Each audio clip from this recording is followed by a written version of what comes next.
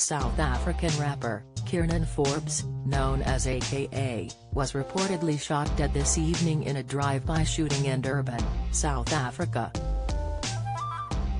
It is believed that the popular rapper was attacked outside a popular restaurant, with his bodyguard also gunned down. Police confirmed to South African media that a 35-year-old male and another man had been shot on Friday night in Florida Road, Durban. Paramedic spokesman Garrith Jamieson told Chisel Live that just after 10. 15 p.m. ambulances responded to a shooting incident where two men had sustained multiple gunshot wounds. Reports read, paramedics assisted the men and unfortunately the first male had sustained multiple gunshot wounds and showed no signs of life and was declared deceased at the scene. The second male, believed to be the bodyguard later also died.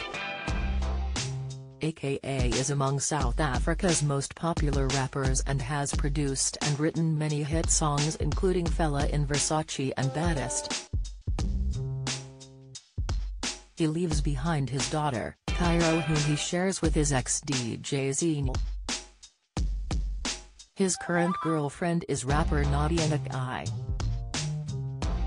Many tributes to the rapper have already hit Twitter, with his close friend Ella writing, Unbelievable. Social media user Constitution U underscore 94 wrote, aka you will never know what will happen in this life. It's not easy. Underscore Renilo added, prayers to Kiernan's mom, DJ Zinhle, Kairo, and Nadia. One of the greatest rappers of South Africa with one of the greatest discographies. This is beyond shocking. RIP aka. Boss commented, damn this is FN tragic as hell. South Africa, am so sorry for your loss. AKA Worldwide always showed me love and hospitality every time we crossed paths. Always welcomed me with open arms. Rest easy king. The shooting occurred in the popular entertainment district, which was brought to a standstill after police officers closed the road aka was meant to perform in the city Friday night and footage has been posted online of the rapper with friends eating dinner prior to his death. In the video, the rapper can be seen hanging out with a couple of friends. AKA was very active on his social media, replying to fans' comments just three hours ago.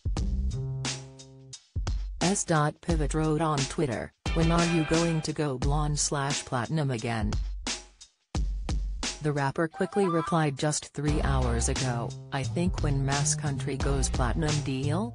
He was also active on Instagram just four hours ago, sharing his daily antics with his 3. 3 million followers.